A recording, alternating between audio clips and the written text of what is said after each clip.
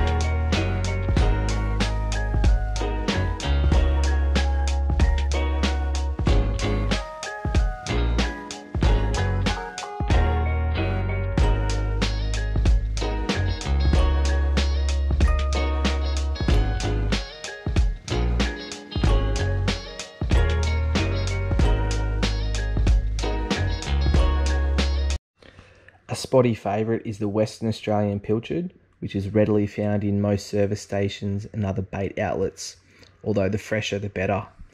Often trolling baits, either dead or alive, will outperform trolling lures. Just ensure that the bait is defrosted before using it.